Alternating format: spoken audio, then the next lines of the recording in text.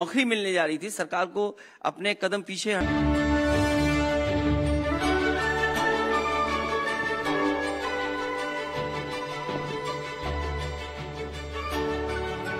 thank you so much Kangana ji इस मंच पे आने के लिए। जोरदार तालियों के साथ अभिनंदन करिए अभिनेत्री member of parliament Kangana Ranaut ji का।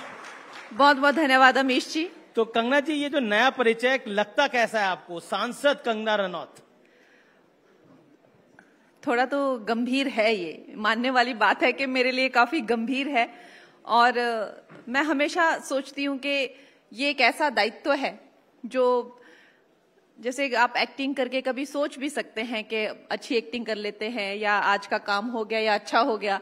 लेकिन ये ऐसा काम है जो खत्म ही नहीं होता है। जितना आप कर लो उतना कम है। जितने आ, लोग हैं उतने ही काम हैं उतनी ही अपेक्षाएँ हैं। और खासकर जब आप एक नेशनल फिगर होते हैं तो मैं हमेशा कहती हूँ मुझे कहीं से भी फ़ोन मुझे हर जगह से फ़ोन आ जाते हैं। महिलाओं के आ जाते हैं लोगों के आ जाते हैं। कर पाती हैं सारे फ़ोन आप? मैं वही कह रही हूँ कि आप कभी ऐसा नहीं सोच सकते कि you know I am good enough in this job you never feel कि you are good enough so I am trying to cope देखिए चाहे मणिकर्णा का हो चाहे इमरजेंसी हो जहाँ कंगना रनौत होती है वहाँ विवाद हो जाता है। अब ये कंट्रोवर्सी जो है वो आपका पीछा क्यों नहीं छोड़ती? देखिए अमित जी, मैं, मैंने तो ये जो इस इस चीज़ का यही निष्कर्ष निकाला है कि अगर आप वही फूल पत्तों के आसपास उछलते रहना चाहते हैं, नाचते रहना चाहते हैं पार्क में, गार्डन में तो आपको किसी को आपके साथ कोई दिक्कत नहीं होगी। अगर वही महिलाओं के दो मिनट के रोल आप करेंगी तो आप बहुत ही प्यारी और बहुत ही अच्छी लड़की होंगी। आइटम नंबर करेंगी। जैसे जो आपको जो लोग चाहते हैं वैसे करेंगी तो ठीक है। लेकिन कहीं अगर आपने उन सब चीज़ों से निकल कर ये कहा कि नहीं, मुझे भी एक पूरा जो है एक लीड रोल करना है और ऐसा मुझे कुछ काम करना है जो ना कि सिर्फ़ हमारे मनोरंजन का ही एक साधन बने, जबकि हमारे देश को भी एक एक अपने इतिहास को लेकर जागरूकता रहे, क्योंकि ये एक ऐसा इतिहास है जिसे जानबूझकर जो है वो छुपा के रखा हुआ है। जिसे बताया नहीं गया है। तो अब मैं तो यही कहूँगी कि भले लोगों का जमाना नहीं है। भले लोगों का जमाना नहीं है तो कैसे लोगों का जमाना है? ऐसे लोगों का जमाना है आप देखिए मेरी फ़िल्म जो है आने को रेडी है बिल्कुल और सेंसर सर्टिफिकेट मिला गया मिला है मेरी फ़िल्म को। चार हिस्टोरियन चार हिस्टोरियंस ने जो है इसको हमें सुपरवाइज किया गया है और मेरे पास पूरी डॉक्यूमेंटेशन है। ऐसी कोई चीज़ नहीं है जो मेरी फ़िल्म में फ़िल्म में जो है वो गलत दिखाई गई है। लेकिन फिर भी वो लोग अब मुद्दे भी तो देखिए तो मैं मैं आपको अमीश जी मुझे कंप्लीट करने दीजिए। अब बात सिर्फ़ दो ही एक ही चीज़ पर आ जाती है कि कुछ लोग हैं जो कहते हैं कि जो भिंडरन वाले हैं वो एक संत है वो एक महान क्रांतिकारी है और वो एक एक लीडर है और एक धर्मात्मा है। तो अब उन लोगों ने जो है कहीं ना कहीं डरा धमका के चाहे पेटिशन चाहे देश को जला देने की चाहे धमकियाँ हो चाहे ऑफ़ कोर्स मुझे भी धमकियाँ आई हैं। तो इन और मेरा ये मानना है कि जैसे हमारा भारतवर्ष है और उसी तरह से पंजाब की 99 परसेंट जो जनता है वो यही मानती है कि जो ये होम मिनिस्ट्री ने नहीं बहुत पहले जो सरकार थी उन लोगों ने बाकायदा जो है खालिस्तानियों को टेररिस्ट घोषित किया गया है और ये कोई संत नहीं होता है जो ए के फोर्टी सेवन के साथ में मंदिर में छुप के बैठा होता है। और आप उन, मुझे कह रहे हैं कि वो खालिस्तान की मांग नहीं की। आप देखते हैं आजकल किसी संत को, कितने संतों को अरेस्ट होता है तो अरेस्ट करने के लिए लेके चले जाते हैं उनको। कितने हमारे 80 से ज़्यादा सोल्जर्स को जो है वो अटैक किया। उनके पास ऐसे ऐसे मशीन गन्स थे ऐसे ऐसे वेपन्स थे, जो सिर्फ़ और, सिर्फ़ अमेरिकन को ही अमेरिकन आर्मी को ही हासिल थे हमारी आर्मी के पास भी नहीं थे। ऐसा क्या दर्शाया आपने फ़िल्म के अंदर जिसको लेकर एसजीपीसी को भी आपत्ति है? मैंने आपको रेप की धमकियाँ मिल रही हैं। आपत्ति सिर्फ़ कुछ चुनिंदा लोगों को है जो कि लोगों को भड़का रहे हैं। मुझे नहीं लगता कि पंजाब की जनता जो है मैं 99 परसेंट जनता की बात कर रही हूँ। भारतवर्ष की जनता, पंजाब की निन्यानवे प्रतिशत जनता, मुझे नहीं लगता भिंडरन वाले को जो है, वो एक संत मानती है। वो आतंकी है और अगर वो आतंकी है तो मेरी फ़िल्म आनी चाहिए। आप बहुत स्पष्ट बोलती हैं। आपको रेप की भी धमकी मिली, इस तो क्या आपको लगता नहीं, आपके परिवार ने नहीं बोला, इस टॉपिक पर फ़िल्म बनाने की क्या ज़रूरत थी? आप भी फ़िल्म बना सकती थी, एक ऐसी मतलब मैं, कोई गुड न्यूज़ बैड न्यूज़ जो भी कई सारी फ़िल्में आती हैं आजकल, उस तरह की। देखिए, करने को तो फिर हम, ऐसा नहीं है कि अगर हम बिल्कुल ही बच बच के अगर ज़िंदगी में हमेशा ही निकलते रहे तो हम कब तक बचेंगे? मेरी ये मेरी ये सोच नहीं है। और वाकई में, अमीश जी, मैंने कभी ये नहीं सोचा था कि मुझे लगा था और किसी समुदाय को कोई आपत्ति हो सकती है, किसी पार्टी को, लेकिन मुझे ये उम्मीद नहीं थी कि उस चीज़ को लेकर, जो कि एक साक्षात है, प्रत्यक्ष है, सबके पास है, और उस चीज़ को लेकर के भिंडन वाले को जो है, वो आपने आतंकी दिखाया है, उस चीज़ को लेकर मुझे प्रताड़ित किया जाएगा, मुझे शोषित किया जाएगा मेरी फ़िल्म को जो है it is so embarrassing for me तीन कट लगे हैं दस बदलाव करने पड़े हैं। जी और उसके साथ ही हमें कितना नुकसान हो गया। फ़िल्म चार दिन पहले रिलीज़ के चार दिन पहले जो है बैन कर दी जाती है। तो आई थिंक ये ए, एक तरह से मैं कहूँगी कि एक लोकतंत्र में जो और है आप बीजेपी की सांसद हैं जिनकी सरकार है। देखिए अमित जी आप उसमें नमक मिर्च लगा के ज़्यादा बता रहे हैं लेकिन लेकिन वास्तविकता यही है कि in the larger of scheme of things अब मैं आपको एक एक जो इंसान संसद में भी बैठता है, संसद भवन में भी बैठता है, उसके हिसाब से मैं कहूँगी in the larger scheme of things for the integrity of the nation security of the people of the nation कोई भी एक व्यक्ति विशेष कोई भी मायने नहीं रखता है, और खासकर फ़िल्म की तो कोई हैसियत ही नहीं है। नेशन फ़र्स्ट नेशन फ़र्स्ट है और हर पार्टी के लिए नेशन फ़र्स्ट होना चाहिए। और अगर आज हम भारतीय जनता पार्टी की इतनी इज़्ज़त करते हैं इसीलिए क्योंकि उनके लिए नेशन फ़र्स्ट है। तो आई थिंक तो हर एक अगर एक भी मैं तो ये कहूँगी अगर एक भी थिएटर में कुछ किसी को कोई आपत्ति हो जाती है या किसी को कुछ किसी तरह से डरा दिया जाता है तो हमें वाकई में बुरा लगेगा। इसीलिए हम चाहते हैं कि ये सरकार की जो है पूरी सपोर्ट के साथ ये फ़िल्म खबरें ऐसी आ रही है कि पंजाब में बैन कर सकते हैं इस फ़िल्म को खबरें इस तरह की आ रही है। नहीं वहाँ तो खैर कुछ लोग इस तरह के घिनौने प्रदर्शन कर रहे हैं मेरे पुतले जला रहे हैं किसी तरह की मुझे जो है वो बातें और लोगों को भड़का रहे हैं। तो मैं, मेरा ये, लेकिन मैं पंजाब के बहुत नज़दीक, मैं हिमाचल प्रदेश में रहती हूँ और मेरा ये मानना है कि ज़्यादातर 99 परसेंट जो पंजाबी है और कितने ही जो हमारी सरहदों पर भी, हमारी सर वो लोग भिंड, और भिंडन वाला का जो ऑपरेशन किया था, वो भी पंजाबियों ने ही किया था और उन, वो भिंडन वाला को संत नहीं मानते हैं, वो टेररिस्ट ही मानते हैं। जी। इस दौर में एक और भी वेब सीरीज़ आती है आईसी 814 जिसमें आतंकियों के नाम बदल दिए जाते हैं। उसके ऊपर कोई कट नहीं लगता, फिर उसकी शिकायत होती है, तब उस पर कुछ सवाल पूछे जाते हैं। क्या आपको लगता है डबल स्टैंडर्ड है? आज जिस मुकाम पर हम हैं टेक्नोलॉजी के साथ I think censor to be honest एक एक रिडंडेंट बॉडी बन के रह गया है। और इस बात को मैंने, जो पिछला पार्लियामेंट सेशन हुआ था, उसमें भी उठाया था कि जिस तरह की चीज़ें ओटीटी पे दिखाई जा रही हैं। जी। यूट्यूब पे बच्चों को एक्सेस है मतलब हमें डर लगता है कोई बच्चा फ़ोन कुछ कार्टून नहीं देख रहा कब स्लाइड करके क्या आ जाए? आप आप सोच भी नहीं सकते जिस जिस जिस जिस चीज़ का एक्सेस है और सिर्फ़ पैसा देके आप कोई भी चैनल का एक्सेस कर सकते हैं। तो ये बहुत ही चिंता का विषय है और हम लोग इतना जूझते हैं सेंसर के साथ। ये आपने ब्लड क्यों दिखाया ये आपने कट क्यों दिखाया ये जैसे आपने सुना हमें इतने कट्स जो है वो कहा है करने के लिए। तो मुझे तो लगता है कि वी नीड टू रीथिंक और सबसे ज़्यादा अगर किसी को सेंसरशिप की ज़रूरत है तो वो है ओटीटी प्लेटफॉर्म क्यों नहीं हो रहा ऐसा? मैंने तो मैंने तो पिछली बार भी संसद में ये चीज़ विषय को उठाने तो आप ही की सरकार है आप लोग बोलिए। ये तो आप तो ऐसा देखिए आप अनरियलिस्टिक बात करते हैं हमारी सरकार तो नहीं है खैर। पर हम एक वहाँ पे बैठते हैं और आपका एक प्रोसेस होता है आपको मंत्रालय में क्वेश्चन डालने होते हैं आपका ज़ीरो आवर होता है आपका थ्री सेवेंटी सेवन आवर होता है उसमें आपके क्वेश्चन डाल और ये जो ओटीटी का मुद्दा है इसको लेके मैंने बहुत चक्कर भी काटे और अभी तक तो खैर इस पे कोई तवज्जो नहीं दिया गया है बिकॉज़ जैसा कि आप जानते हैं देश में और भी कई मामले होते हैं उस सेशन के दौरान लेकिन मेरी ये उम्मीद है कि ओटीटी पे जितनी जल्दी हो जाए सेंसरशिप जितना जल्दी हो जाए हमारे देश के लिए उतना ही अच्छा है। आपने कहा कि आपने इस दौर में इंदिरा गांधी को बहुत पढ़ा और आपकी एक सोच में भी बदलाव आया। तो आपको लगता है कांग्रेस के नेताओं को भी आपकी फ़िल्म पसंद आनी चाहिए? देखिए कांग्रेस के नेताओं से तो मुझ, मुझे कोई उम्मीद रह नहीं गई है। After what what has happen to my film अगर इनमें एक थोड़ी भी इंटेग्रिटी होती और इनमें थोड़ा भी यू नो हल्की भी इनमें शर्म होती। तो मेरी फ़िल्म को लेकर इतनी महिलाएँ इनकी नेता हैं या इतने सारे नेता इन्होंने एक बार नहीं कहा कि ये लड़की को भी हक है। हमने पहले भी देखा हुआ है कि कुछ फ़िल्में हैं चाहे वो पद्मावत हो या चाहे यू नो उड़ता पंजाब हो उन फ़िल्मों को लेकर जो है वो अच्छे से रिलीज़ हुई वो फ़िल्म। चाहे वो किसी की नाक काटने की धमकी दी गई हो किसी का गला काटने लेकिन सरकार ने उनका पूरा संरक्षण किया और अच्छे से वो फ़िल्में रिलीज़ हुई और आई।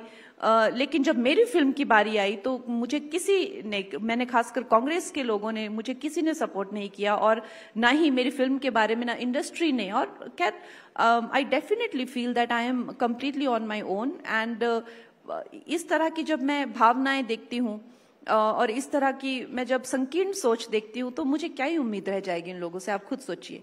जी लेकिन ऐसा नहीं है कि आपको कांग्रेस के लोग पसंद नहीं है आपको बॉलीवुड के भी कई लोग पसंद नहीं है। आप कईयों को पागल कहती हैं कईयों को स्टूपिड कहती हैं किसी को बिर सिर पैर का कहती हैं। ऐसा क्यों कह देती हैं आप? देखिए क्या होता है ना आप अब आउट ऑफ़ कॉन्टेक्स्ट ऐसे दो चार बातें उठा के सुना रहे हैं कि एज इफ़ यू नो ये इलिजिटमेट है और मैंने ऐसे ही कह दी। उनके पीछे कोई कॉन्टेक्स्ट है। और लार्जर कॉन्टेक्स्ट यही है कि जो बॉलीवुड ने जितना इस देश का कबाड़ा किया है they should take onus for it you know जब हम लोग देखते हैं कि जितने भी ये एक्टर्स हैं वो शो ऑफ़ के हमारे पास इतने सौ हज़ारों करोड़ की संपत्ति है और जब आप देखते हैं कि गुटका की एड करते हैं क्या इनकी क्या मजबूरियाँ होगी इनकी कि ये गुटका की एड करके चबाते हुए आते हैं स्क्रीन पे? ये लोग जो हैं जब भी कोई भी एंटी नेशनल एजेंडा हो चाहे हमारी डिप्लोमेसी में चाहे हमारी इंटरनेशनल डिप्लोमेसी में कोई भी हो यू you नो know, चाहे वो पैलेस्टीन को लेके खड़े होना ये सब एक लाइन में खड़े हो जाते हैं। एक लाइन में ये मानवता का जो है वो झंडा लेके ये लोग खड़े हो जाते हैं और देश को जो है जब कुल्हाड़ी मारनी हो तो सबसे पहले पीठ पे ये लोग खड़े हो जाते हैं। दस लाख, पाँच लाख, दो लाख, तीन लाख रुपए का इनका रेट होता है इसका चाहे वो स्टोरी डालनी हो या चाहे वो ट्विटर पे डालना हो, ये और जब आइटम नंबर करने की बारी आती है तो ये इज्जतदार लोग, ये मानवता जो सबसे पहले सेक्सुअलाइजेशन ऑफ़ चिल्ड्रन मैंने आपको पहले भी बताया वो हम सोशल मीडिया पे देखते हैं। नौ नौ छह छह साल के जो छोटे छोटे बच्चे हैं, अपने स्कूल के फ़ंक्शंस पे कैसा डांस कर रहे हैं आइटम नंबर्स पे? क्या उसका वो ओनर्स लेते हैं?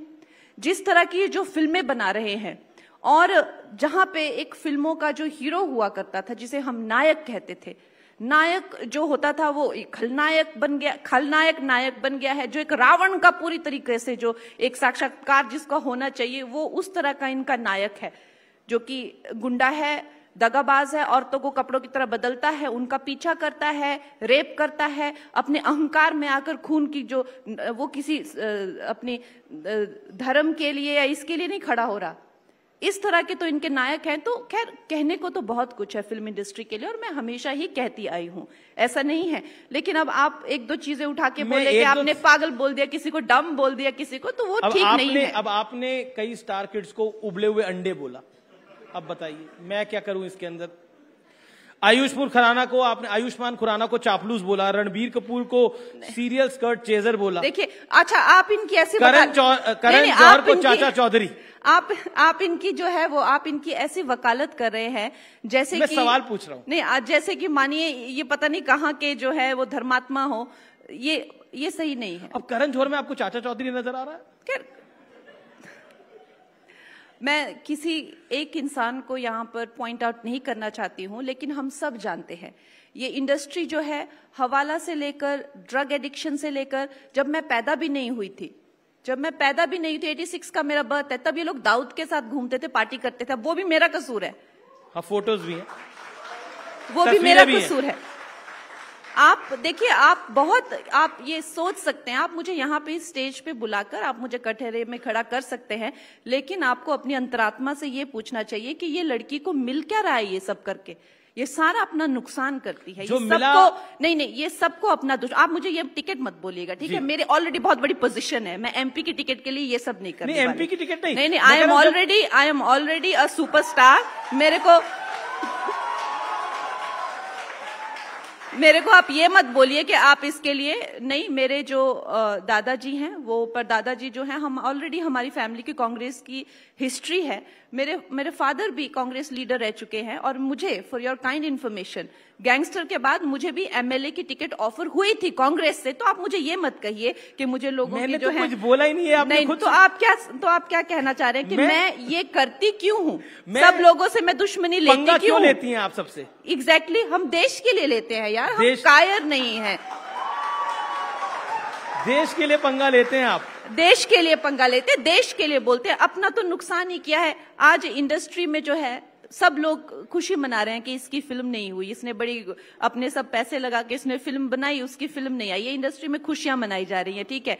और मुझे बिल्कुल आइसोलेट किया गया है। मेरा घर टूटा, तब इन लोगों ने खुशियाँ मनाई। जो मैं I am I am right now in the loneliest corner of the world ठीक है? तो आप लोग मुझ, आप मुझे ये मत बताइए कि मैंने इसको ये बोला मैंने उसको वो बोला। मैं अपने निजी स्वार्थ के लिए होता तो मैं इनकी ईगो पैम्पर क्या क्या मैं बता देता हूँ। बॉलीवुड में खान्स के साथ काम करने के लिए एक्ट्रेस को लगता है कि अगर खान्स के साथ मौका मिल जाए तो उससे बढ़िया कुछ नहीं हो सकता। बजरंगी भाईजान आपने सलमान खान के साथ छोड़ दी। ज़ीरो फ़िल्म आपने शाहरुख खान के साथ छोड़ दी। क्यों? अभी पंगा ही तो है। सलमान खान शाहरुख खान कौन कौन मना करता है बॉलीवुड में? अमीश जी ऐसा नहीं है कि मैं एक वक्त था जब मैं चाहती थी कि मैं इन सब के साथ काम करूँ लेकिन दस साल का मेरा संघर्ष रहा है जब मुझे सबने डिसमिस किया। इसका कुछ नहीं होने वाला Uh, क्योंकि एक नॉर्मल सा जो फॉर्मेट होता था आइटम सॉन्ग करो दो गाने करो कॉमेडी सीन उसमें मैं फिट नहीं होती थी। तो जब मुझे वो काम नहीं मिला मुझे एक अलग तरीके से सफलता मिली चाहे क्वीन हो तनु मनु हो मणिकर्णिका हो।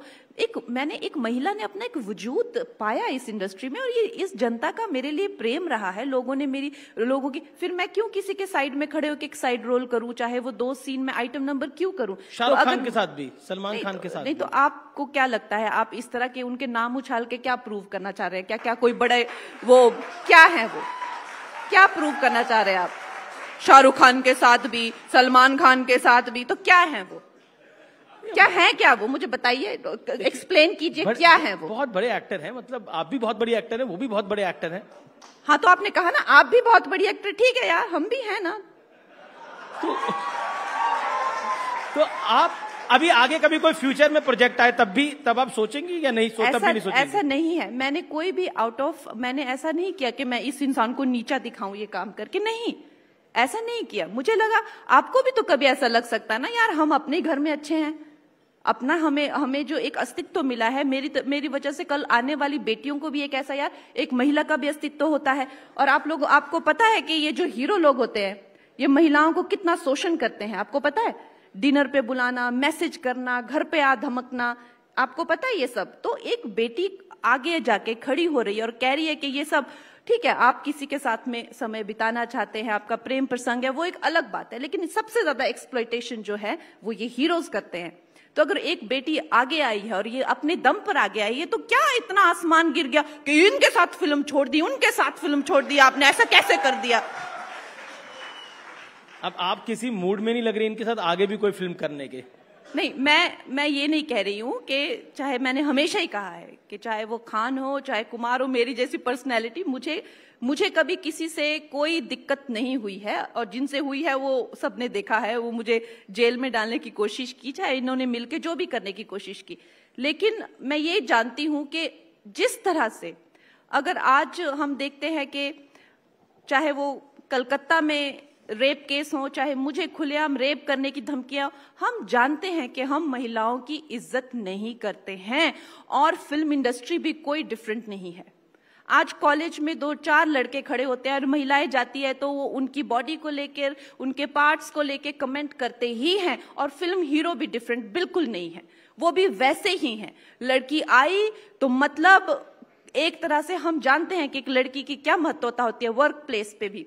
एक तो सबसे पहले कि वो दिमाग की स्लो होगी और वो खिकी खिकी खिकी खिकी करेगी, सारा दिन गिगल करेगी, उसको जो लड़का लेफ़्ट लेके जाएगा, अब ये लेफ़्ट लेके गया तो मैं इसको राइट लेके जाएगा तो उसको देखेगा कि डायरेक्टर भी देखेगा कि she is going with the hero तो वो भी सोचेगा she is going with the hero why she is not going with me इस तरह से महिलाओं को वहाँ पे शोषण किया। अब बोलेंगे इसने ऐसा बोल दिया। मैंने ऐसा बोला लेकिन आप लोग ये भी मत भूलिए जो हमारी सरोज खान इतनी सक्सेसफुल हमारी कोरियोग्राफर रह चुकी हैं जो मेरे पैदा होने से पहले से फ़िल्म इंडस्ट्री में है। उन्होंने कहा था कि जब उनसे पूछा था कि फ़िल्म इंडस्ट्री Yes. में जो है जो लड़कियों के रेप होते हैं लड़कियों का शोषण होता है लड़कियों का मीठू होता है उसके बारे में आपका क्या कहना है? तो उन्होंने कहा था कोट अनकोट कि रेप तो करते हैं लेकिन रोटी भी देते हैं। तो इतना इतना नीचा जो है लड़कियों को वहाँ पे ट्रीट किया जाता है और बिचारियों को जब रोटी मिलती है तो इनको लगता है तो क्या हुआ? रेप किया तो कम से कम छोड़ तो नहीं दिया, रोटी तो दी। तो ये हमारी बेटियों की ये महिलाओं की दुर्दशा है फ़िल्म इंडस्ट्री में। और ऐसी फ़िल्म इंडस्ट्री में एक कंगना जाती है तो अगर उसने कह दिया यार कि मेरे को नहीं करनी हीरो के जैसे फ़िल्म तो ऐसा क्या आसमान गिर पड़ा कि भाई ये लड़की ने तो ऐसा किया तो आप तो अपनी मनमानी करती हैं आप तो किसी की सुनती नहीं है आप तो साइको हैं आप तो ये हैं। मुझे समझ नहीं आता कि ये दो गली दुनिया जो है एक तो एक तरफ़ तो आप कहते हैं कि महिलाओं का सशक्तिकरण होना चाहिए और बेचारी एक बेटी को आगे निकले तो उसका फिर कुछ नहीं छोड़ते हैं उसी फ़िल्म इंडस्ट्री ने आपको कंगना रनौत बनाया पूरी दुनिया आपको आज जानती है उसी फ़िल्म इंडस्ट्री ने आपको पद्मश्री दिलवाया। आपके काम की वजह से उसी फ़िल्म इंडस्ट्री की वजह से मिला ना? हाँ तो इस फ़िल्म इंडस्ट्री को भी तो मैंने इज़्ज़त दी ना कम से कम महिला महिला सशक्तिकरण की फ़िल्में बनाई। यहाँ पे मैंने डबल रोल महिलाओं का करके दिखाया झांसी की रानी पे फ़िल्म बनाई। आज इनके पास जो चार पैसे की इज़्ज़त है वो हम ही कुछ गिने चुने लोगों की वजह से है। आपने बीएमसी आपने बीएमसी की बात करी जब आपका ऑफ़िस तोड़ा गया उसकी बात करी। और अब आपको वो ऑफ़िस बेचना पड़ा। ऐसा क्यों हुआ? देखिए वो तो पर्सनल अब आप पर्सनल सवाल पूछ रहे हैं। नेचुरली ये मेरी फ़िल्म है वो आने वाली थी जिसपे मैंने अपनी सब निजी संपत्ति लगाई थी अब वो नहीं आई है। तो खैर संपत्ति है वो इसी काम के लिए होती है। कभी कोई मुश्किल वक्त आए तो बेच दी। अब उसके लिए भी मेरे को यहाँ पे सफ़ाई देनी पड़ रही है। नहीं सवाल पूछा मैंने तो। चलिए एक एक एक चीज़ पर आपको सफ़ाई देनी पड़ी किसानों को लेकर जो आपने बयान दिया था। आपकी पार्टी ने भी उस पर बोला उस पर आप क्या मैंने किसानों को लेकर जो है जो एक है बात कही थी कि किसान आंदोलन में जो है एक तो सबसे पहले जैसा मैं कहती हूँ कि भले लोगों का तो जमाना है नहीं। अब हम सबने देखा है कि जो चाहे लाल किला पर जो है वो खालिस्तान का झंडा लहराया गया हो या रेप गैंग रेप हुए हो या खालिस्तान की जो डिमांड की गई हो तो एक भले मानुस से किसी ने पूछा कि ऐसा ऐसा फार्मर्स तो उसने बोल दिया कि हाँ भाई हुए वो वैसे हुआ। और जी सब बंदूकें तन गई और सब जो है एक ये लड़की को जो है ज़िंदा जला दो ज़िंदा काट दो। क्या ये कल्चर है? क्या आप खुद सोचिए क्या हमारे देश में इस तरह का माहौल होना चाहिए? क्या? पार्टी ने भी आपको कुछ बोला उसके लिए? पार्टी ने बोला कि संभल के बोलना चाहिए। नहीं, खैर, संभल के तो सभी को बोलना चाहिए, मुझे ही नहीं। संभल के तो सभी को बोलना चाहिए, पार्टी की गाइडलाइंस होती है। और उन गाइडलाइंस की मेरे को जो है एक लिस्ट मिली थी, वो चाहे उनका जो भी स्टैंड हो। मुझे ये कहा गया है कि हमारे जो पार्टी के लीडर्स होते हैं, उनका जो स्टैंड होता है you have to be with that stand but in end in no way party has told me कि जी आप किसी चीज़ के बारे में बात नहीं कर सकते कि आप बोल नहीं सकते। उस पर भी पार्टी ने जब बोला, इसको लताड़ा गया, इसको फटकारा गया, इसको बुला के डांटा गया, यार। एक सी मुझे लगता है कि इस तरह की जो लैंग्वेज है एक किसी महिला के लिए ये अच्छी नहीं है। जब भी एक महिला जो है कुछ करती है इंटेलिजेंट होती है या कुछ होता है तो उसको लेकर ये, ये काला जादू है ये चुड़ैल इस तरह की जो शब्द और वही अगर कोई मेल ये सब सबका वो मैवरिक है he is multi dimensional he is a very good orator he is very clever with his answers अगर हम लोग तो कहीं विट से भी कुछ बोल दे तो उसके पीछे कॉमेडी म्यूज़िक लगा के ओ why if if I am intentionally funny it is not uh, it i am not uh, uh, smart i am you know i am then i am uh, uh, stupid but अगर कोई male जो है वो intentionally has got wit he's got humor and he's giving clever answers तो you know he's this maverick and larger than life ये जो double standards है ना these uh, these uh, कैसे आप बताइए महिलाओं की स्थिति इस देश में कैसे उभरेगी अगर हम अपनी डबल स्टैंडर्ड्स जो हैं वो ठीक नहीं करेंगे अब आपको फ़िल्म इंडस्ट्री के काफ़ी लोग पसंद नहीं है कांग्रेस के लोग भी पसंद नहीं है तो क्या सिर्फ़ बीजेपी के लोग अच्छे हैं ऐसा ऐसा नहीं है कि मुझे फ़िल्म इंडस्ट्री के लोग पसंद नहीं है। फ़िल्म इंडस्ट्री में ऐसे बहुत सारे लोग हैं जो पसंद कौन है ये बता दीजिए, पहली बार होगा ये। दो नाम तो दीजिए। बहुत बहुत अच्छे अच्छे लोग फ़िल्म इंडस्ट्री में के हैं, लेकिन आपको लगता है कि जो पर्दे पे दिखते हैं, सिर्फ़ वही लोग होते हैं। ऐसा नहीं है। वो तो मात्र 10 परसेंट काम करते हैं 90 परसेंट सैलरीज ले जाते हैं और बाकी सबको गड्ढे में डाल के खुद निकल जाते हैं। हमारे फ़िल्म इंडस्ट्री में बहुत सारे टेक्नीशियंस हैं, राइटर हैं, जैसे मैंने कहा, हमारे जो अभी राज्यसभा के मेंबर भी हैं विजेंद्र प्रसाद गारू, जिन्होंने इतनी बड़ी बड़ी फ़िल्म, अब उनकी बातों में आपको इंटरेस्ट नहीं होगा, झटपट अपना क्वेश्चन डाल के मैटर बदलना चाहेंगे। यू नो सो तो ऐसे ऐसे बहुत सारे लोग हैं जो बहुत अच्छे हैं बहुत बेहतरीन काम है लेकिन अब आप लोगों को उनमें इंटरेस्ट नहीं अब हम क्या करें? नहीं मैं ये मेरे को इसमें ज़रूर इंटरेस्ट है क्योंकि सोशल मीडिया के थ्रू ये सवाल आया कि कंगना रनौत का बेस्ट फ्रेंड कौन है फ़िल्म इंडस्ट्री के अंदर? एक कोई होगा? एक कोई होगी होगा जो भी है। बेस्ट फ्रेंड तो खैर बहुत आपने एक हम लोग पचास साठ साठ दिनों के प्रोजेक्ट्स करते हैं तो मिलते हैं फिर फिर तो मेरे सहयोगी बहुत। अब अनुपम जी देख लीजिए या श्रेयस जी देख लीजिए, विजेंद्र प्रसाद गारू हो गया, और ऐसे कोई लोगों की कमी नहीं है फ़िल्म इंडस्ट्री में, जो कि यू नो एक मुझे रिस्पेक्ट देते हैं और मेरे साथ जो है वो कॉर्डियल है। तो ऐसी ऐसी कमी नहीं है, लेकिन वही है कि कुछ लोग, जिन, आपको उन्हीं में इंटरेस्ट है, जो कि बदमाश कंपनी है, और उन्हीं के बारे में आप क्वेश्चन भी पूछेंगे सारे। अब चलिए अब मैं कुछ राहुल गांधी आपका फेवरेट टॉपिक उस पर सवाल पूछ लेता हूँ। राहुल गांधी पर जब आप चुनाव लड़ रही थी और आपने मेरे साथ ही साक्षात्कार किया था आपने राहुल गांधी पे क्या बोला था मैं आपको सुनवा देता हूँ। वो बाइट सुनते हैं। राहुल गांधी को देख के तो मुझे सच में तरस ही आता है क्यों आता है आपको तरस? मुझे मुझे वो बहुत बेचारे लगते हैं। मैंने वो नज़ारा देखा था वो जाके प्रधानमंत्री को के गोद में बैठ के उनको हक कर लिया और और कहते मोहब्बत की दुकान मुझे खोलनी है। फिर जाके ऐसे आँख मार दी क्या मतलब वो एक कार्टून कैरेक्टर यार? कमान यार. मुझे हँसी आती है मुझे एकदम कार्टून लगते हैं वो। रा, राहुल जी आपको कार्टून लग रहे थे तब। अब संसद में आपके साथ बैठते हैं आपके विचार थोड़े बदले।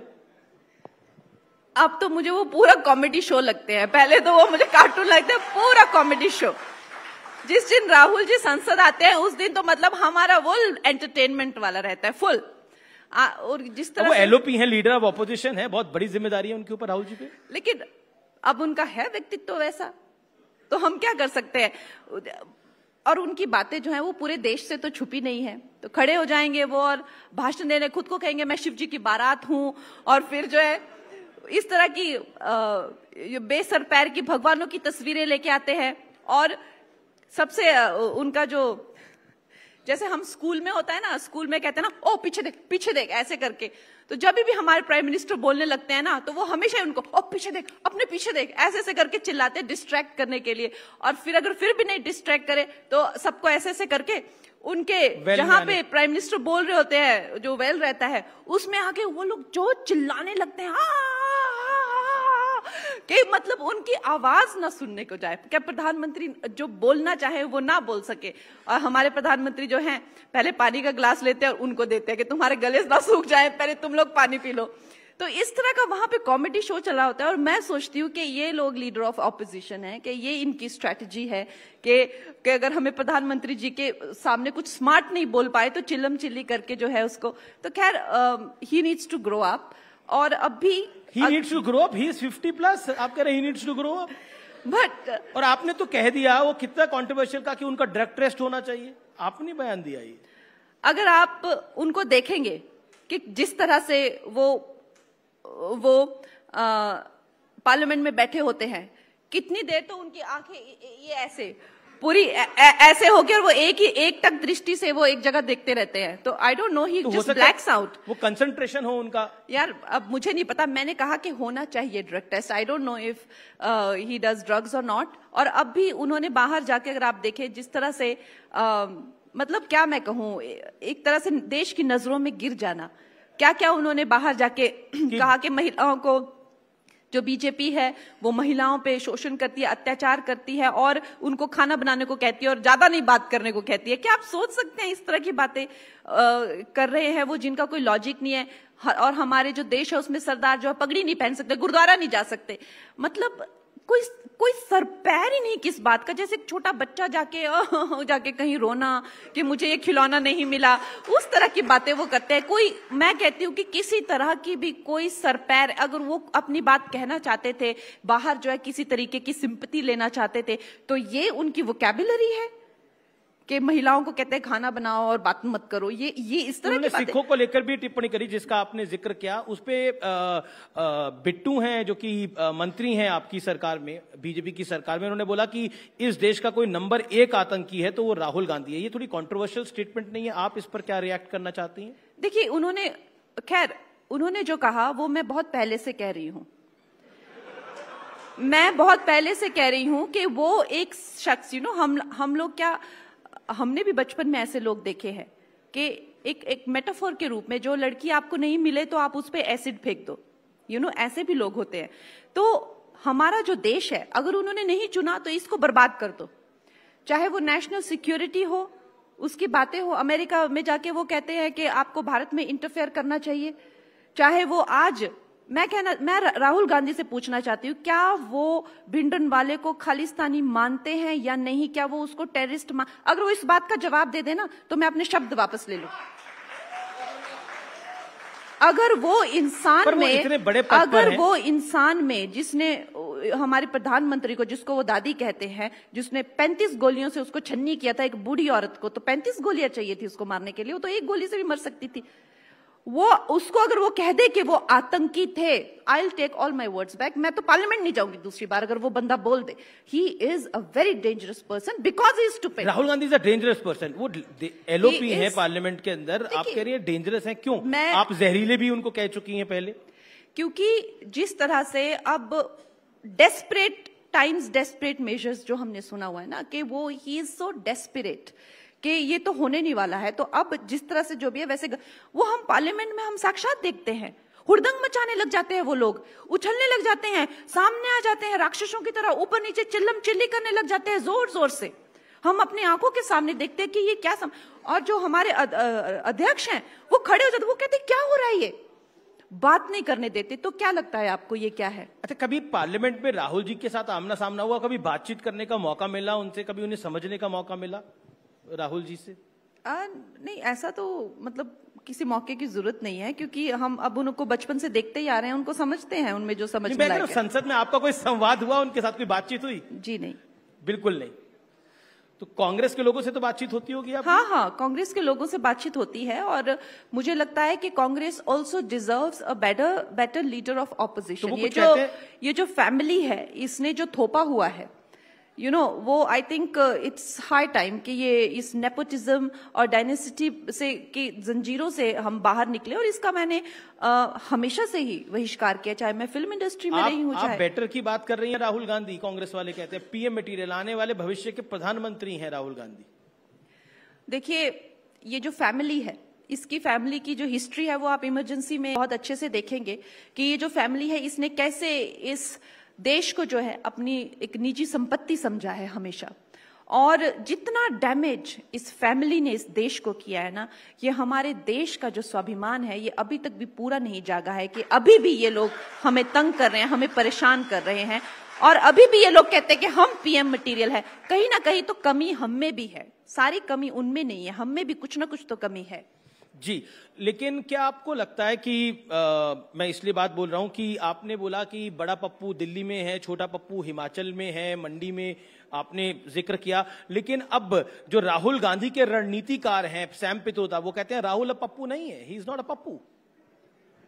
उन्होंने मैं उनको कोट कर रहा हूँ। Essentially a person you know अब एक इंसान जो अपने दम पर अपने संघर्ष पर अपने अपने बलबूते पे ऊपर आया होता है ना उनका जो उन, उनके जो तौर तरीके होते हैं ना वो पूरी दुनिया को दिखते हैं। चाहे वो हमारे प्रधानमंत्री नरेंद्र मोदी जी हो या गडकरी जी हो या जो खैर जो अमित शाह जी हो जो एक सेल्फ मेड लीडर्स होते हैं। लेकिन ये जो ये जो ये वाली जो होती है वो क्लास जो चाहे हम अपनी फ़िल्म इंडस्ट्री में भी देखें या हम लोग इस इस तरफ़ भी देखें इन इन लोगों का एक ही पूरा कैरेक्टर है। यू you नो know, जो जो जैसे इनकी शक्लें हैं वो जैसे आपने कहा चाहे हिमाचल में है चाहे यहाँ पे है चाहे फ़िल्म इंडस्ट्री में भी हैं बस ये लोग जो है वो पर- इनके तालियाँ बजाने वाले एक टिपिकल दस लोग होते हैं वो रहे लोग इनकी तालियाँ बजाते रहते हैं और ये लोग जो है अपना बच्चा बन के घूमते हैं। बच्चा बन के घूमते हैं पचास साल की उम्र में। तो अब उनका बुद्धि तो उतनी है बुद्धि तो ग्रो इंसान की तभी होगी जब वो इंसान जो है किसी तरह के आपको लगता है राहुल गांधी में बुद्धि नहीं है? मतलब वो एलओपी हैं इतने पढ़े लिखे हैं पार्टी का काम मैं कर नहीं मैं आपसे पूछती हूँ मुझे मुझे आपकी भी बुद्धि का स्केल जानना है कि क्या राहुल गांधी क्या राहुल गांधी बुद्धिमान है? नहीं मुझे जवाब चाहिए। मैं ये पूछना चाहती हूँ क्या राहुल गांधी बुद्धिमान है? नेता तो है वो नहीं, मैं पूछती हूँ बुद्धिमान तो दिखते ही है थोड़े जिन्होंने हमें पता चल गया इनकी भी बुद्धि के क्या स्टैंडर्ड्स हैं हमें पता चल गया। देखिए पर देखिए अब देखिए आप बस हो गया। चलिए अगला अगला क्या केजरीवाल जी आपको ठीक लगते हैं अरविंद केजरीवाल? अभी उन्होंने इस्तीफा देने की पेशकश कर दी है। अरविंद केजरीवाल आपको ठीक लगते हैं? मेरे ठीक लगने या लगने से क्या होगा जो दिल्ली की जनता है उनको जो है वो डिसाइड करना है कि किस तरह के लोग जो है हमारी दिल्ली को जो है वो खोखला कर रहे हैं बेजान कर रहे हैं तो उस हिसाब से वो लोग अपना डिसाइड करेंगे। दिल्ली की जनता को ये ज़्यादा सोचना है कि यार हमारी तो लाइक डिसलाइक से क्या फ़र्क पड़ेगा? जी शिमला का एक मुद्दा है और मंडी का एक मुद्दा है। वहाँ पर एक अवैध मस्जिद को लेकर काफ़ी अ, सारे सवाल हो रहे हैं। मंडी में भी एक अवैध मस्जिद हुई है जिसको लेकर एक आंदोलन भी हुआ है। आप मंडी की सांसद हैं आप हिमाचल की अ, से आती हैं। क्या कहना चाहती है इस विषय को लेकर? बहुत सी बातें हो रही हैं बहुत सी बयानबाजी हो रही है। आप क्या कहना चाहती हैं? देखिए हम यहाँ से इस स्टेज से जो है किसी भी चीज़ के बारे में जब भी एक अपना जस्ट सिर्फ़ बयान देते हैं ना इट्स वेरी इंपॉर्टेंट कि जो वहाँ के लोकल हैं उनकी जो आ, उनकी जो स्थिति है उसको हम कंसीडर करें। तो अभी इस वक्त में जो हम हिमाचल के लोग हैं वो सबसे ज़्यादा जो इलीगल इन्फिल्ट्रेशन है रिफ्यूजीज की। और वो भारतीय नहीं है वो बाहर से आते हैं, वो नाम बदल कर आते हैं, वो नाम बदल कर अपने उनके आधार कार्ड जो है वो फेक होते हैं, उनको वहाँ पे जमाया जा रहा है।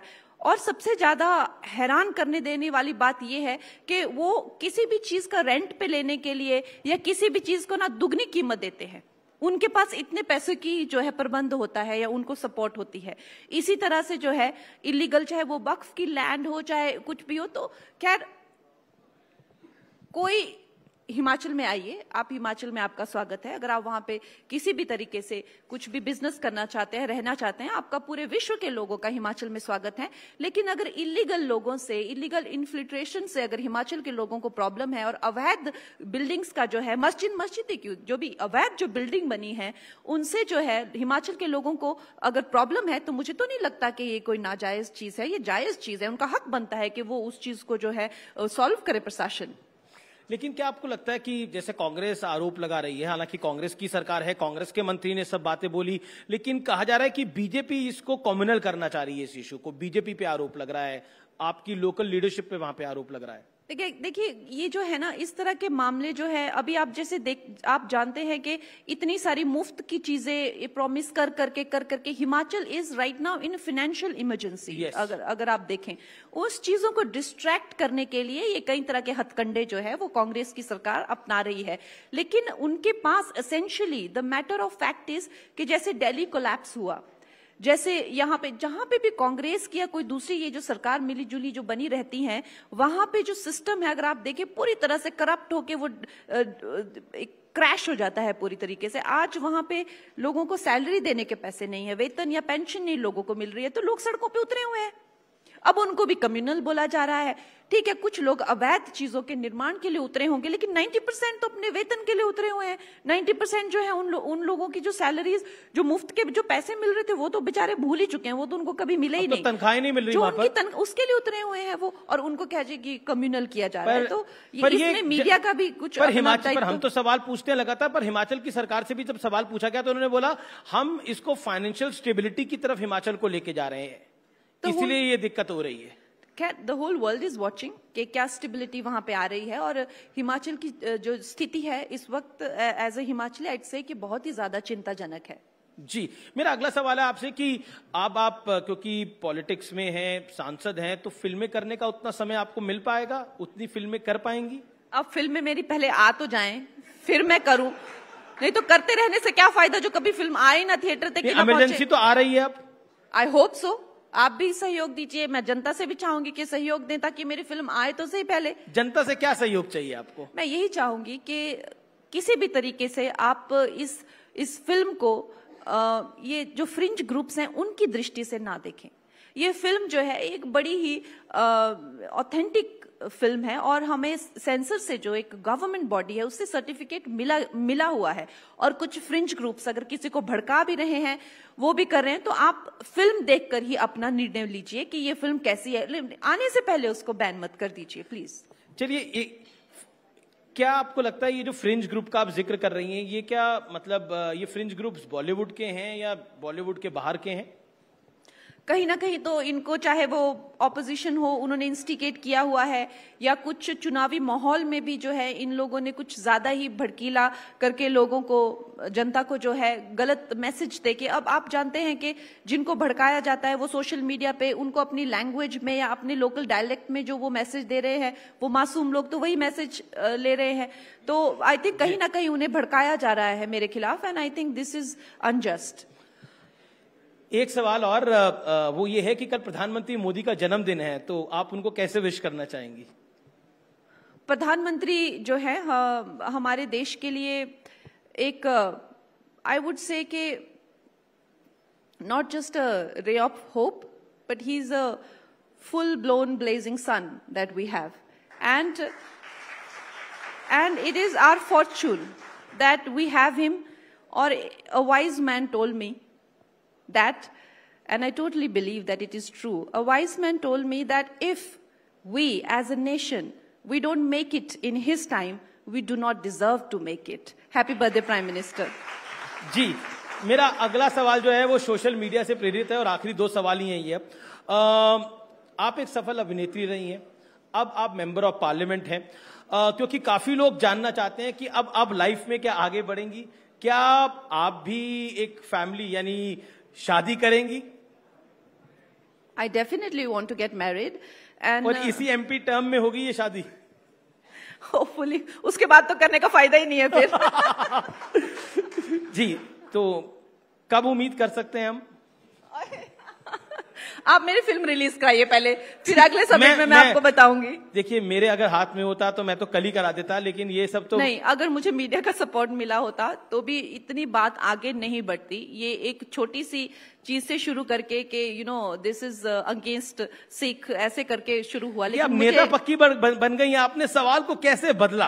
पूरी नेता बन गई है अब आपको मानना पड़ेगा। तालियाँ इस बात के लिए भी कंगना जी अब फुल नेता बन गई है। और अब कुछ एक तस्वीरों वाला राउंड है, कुछ तस्वीरें आएँगी और उस पर मैं आपकी टिप्पणी चाहूँगा। देखते हैं पहली तस्वीर किसकी आ रही है। बजरंग पुनिया और विनेश फोगाट के बीच में राहुल गांधी।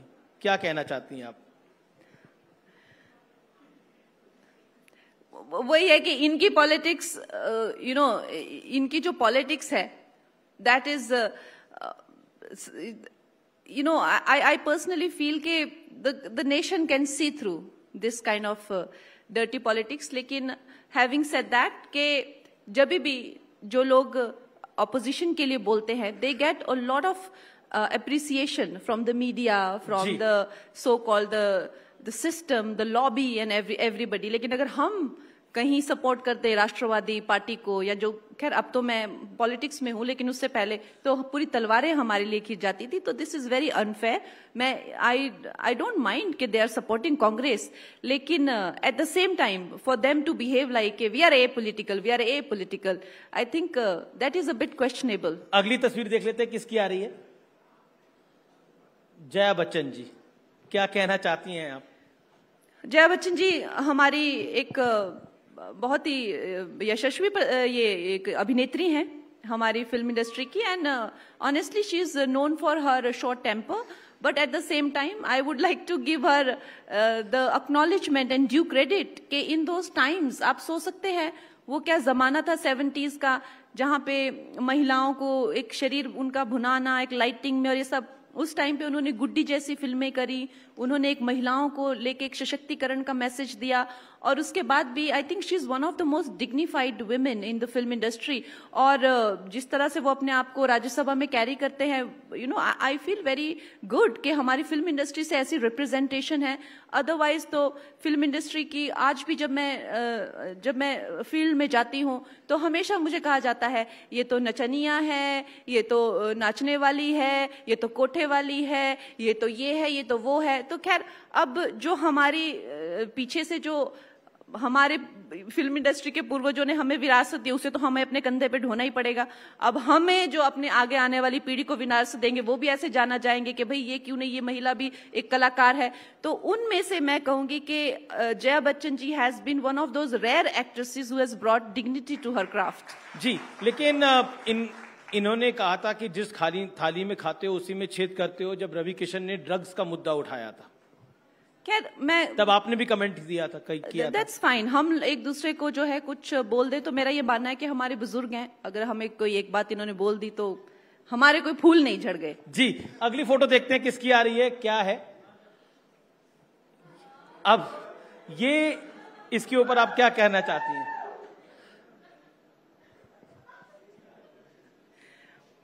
यार ये मेरे को एक्टर रह चुके हैं और मुझे इतनी सफ़ाई जो मेरे और चिराग की फ़ोटो को लेके देनी पड़ती है हर जगह जाके। तो अभी सच में लगता है कि कुछ है क्या? हमें भी ऐसा लगता है कि कुछ है क्या? नहीं नहीं मैंने तो कुछ पूछा ही नहीं मैंने तो सिर्फ़ तस्वीर दिखाई। नहीं नहीं ऐसा कुछ नहीं है और मीडिया ने आउट ऑफ़ प्रोपोर्शन ये मैटर कर दिया पूरा but he is a very good friend और हम लोग ने पहले एक फ़िल्म भी की है उन्होंने एक्टिंग भी की है इससे पहले।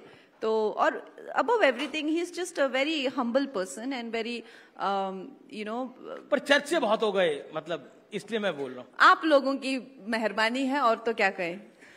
जी चलिए अगली तस्वीर देखते हैं किसकी आ रही है।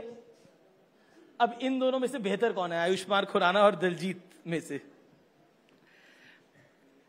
अब आप देख लीजिए इनमें से जो भी राष्ट्रवादी है वो मेरा फेवरेट है। वो देशद्रोही है इस देश के टुकड़े चाहता है तो उसके लिए एक को तो पसंद करिए।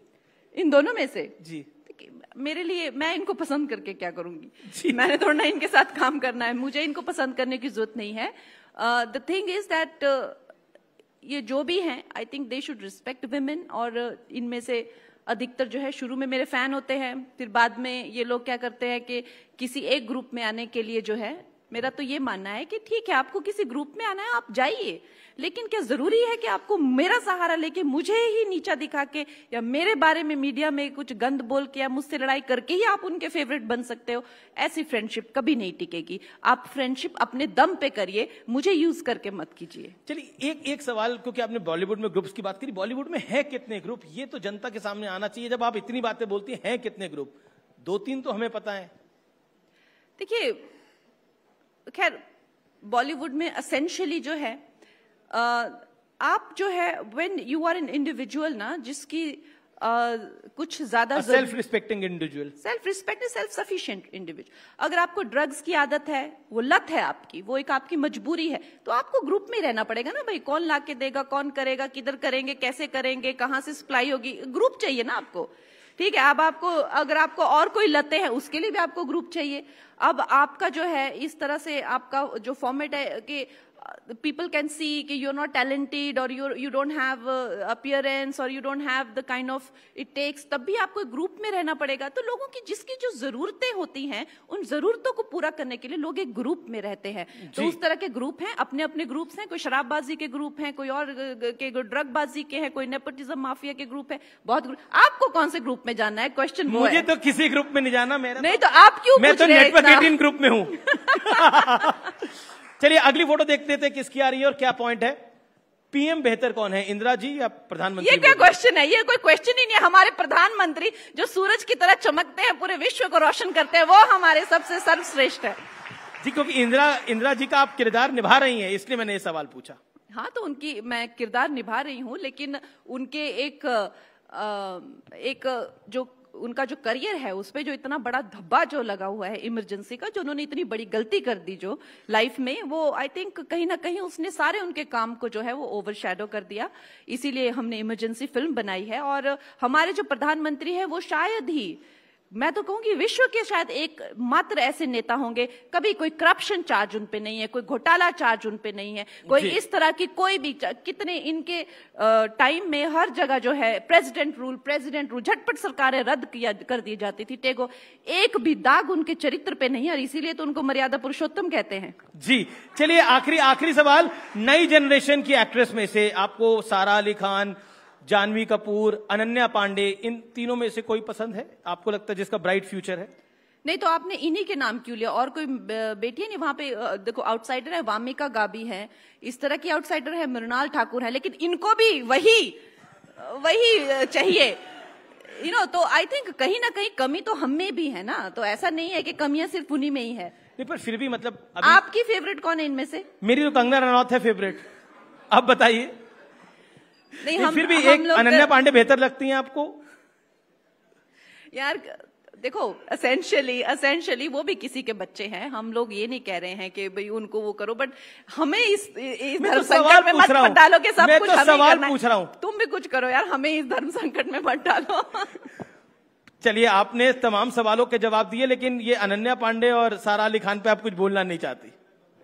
मैं नहीं बोलना चाहती बट मैं ऐसा चाहती हूँ कि हमारी जो फ़िल्म इंडस्ट्री है, उसमें जो आर्ट का जो स्टैंडर्ड है, वो धीरे धीरे इतना नीचा ना चला जाए कि जो है, वो खत्म ही हो जाए बिल्कुल। हर दिन जो है, चाहे वो एक्टिंग के स्टैंडर्ड्स हो, चाहे वो एक वहाँ पे फ़िल्मों के स्टैंडर्ड्स हो गिरते ही जा रहे हैं तो मैं चाहती हूँ कि कला को सर्वोपरि रहे रखें। ये बहुत अच्छी बात आपने बोली कि हाँ। कला सबसे ऊपर है। कला सर्वोपरि रहनी चाहिए और जैसे हमारी कलाकार एक्ट्रेसेस हुई हैं चाहे वो अ, मैं तो मैं तो कुछ के नाम लूँगी तो इरफान खान साहब हो गए मनोज बाजपेयी जी। मनोज बाजपेयी जी जैसा कोई कलाकार नहीं हुआ है आज तक। उनकी जो अम, उनकी जो रेंज है और आप यू नो लाइफ ऑफ़ पाए में देख लीजिए, उनका रोल देख लीजिए नेम सेक में देख लीजिए, इरफान साहब हो गए।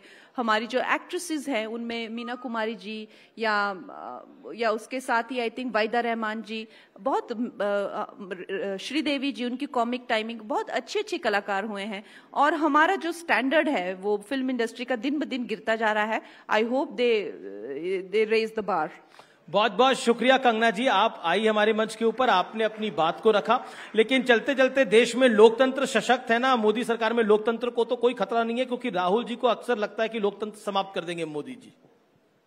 बोलते रहते हैं। देखिए, हमारी जो सरकार है, उसका जो जो स्लोगन है, सबका साथ, सबका विकास, नेशन फ़र्स्ट।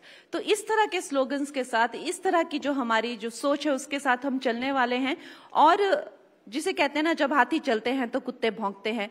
तो आई वुड से कि अगर हमारी देश की जो इकोनॉमी है, वो ग्यारहवें से अब तीसरे स्थान पे, चौथे स्थान पे है तो कहाँ हम किस, आज हमारे नेता जो है, विश्व के सबसे ज़्यादा लोकप्रिय नेता है। आज हम उ- उस दौर पे है। आज हमें जो विंग्स जो है, नरेंद्र मोदी जी ने दिया, उन चाँद पे लैंड किए हैं। तो बोलने वाले जिन्हें जलन होती है वो तो बोलेंगे ही। लेकिन अगर किसी को खतरा है यहाँ पे इस देश में आज तो वो है भ्रष्टाचारियों को खतरा आप- है। आप- सिर्फ़ भ्रष्टाचारियों को खतरा है और उनको खतरा रहेगा। आपकी मदर आपको बोलती नहीं है इतना पंगा मत लियो करो कंगना हम हम साधारण परिवार से हैं तुम क्यों फंसा देती हो मैं बोला कि नहीं बोला? सही सही बताइएगा। ऑफ़ कोर्स पेरेंट्स बोलते ही है। हाँ। जी। बहुत बहुत शुक्रिया। बहुत बहुत शुक्रिया। आपका हमारे साथ इस मंच पे आए। जोरदार तालियाँ कंगना रनौत के लिए। मैं चाहूँगी बस कुछ देर के लिए आप मंच पर और बनी रहें और अनुरोध करूँगी न्यूज़ एटीन इंडिया और हिंदी डिजिटल के एडिटर ज्योति कमल जी से वो मंच पर आए और हमारी खास मेहमान का धन्यवाद दें।